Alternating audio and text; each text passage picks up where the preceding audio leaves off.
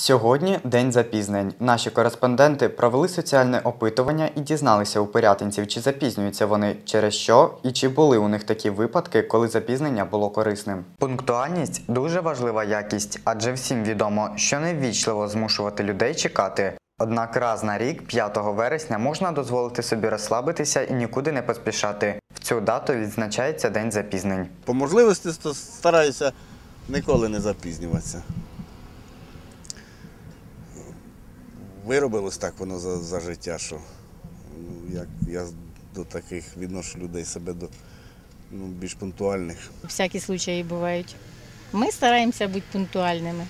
А як люди, хто знає. Запізнюватися, звісно, що не слід. ну, Буває всього в житті. Так що буває спішиш і, да, і запізнюєшся. Ну, всяк буває, але стараюсь не запізнюватися. Буває, запізнююсь.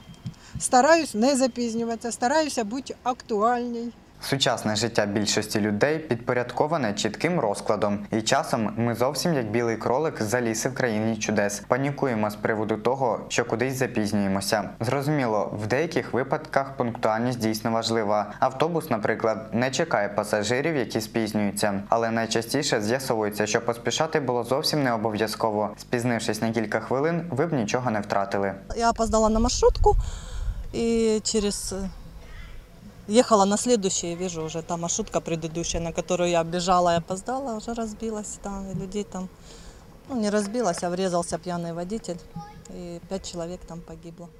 У день запізнень не бійтеся відхилятися від свого жорсткого розкладу і спізніться на якусь зустріч. Тільки краще все-таки попередньо переконатися, що ваше запізнення не спричинить за собою серйозних наслідків. Проспав на роботу, можна отримати догану. До речі, про походження дня запізнень практично нічого не відомо, але швидше за все він, як і більшість подібних свят, був придуманий в США і поширився по світу завдяки інтернету.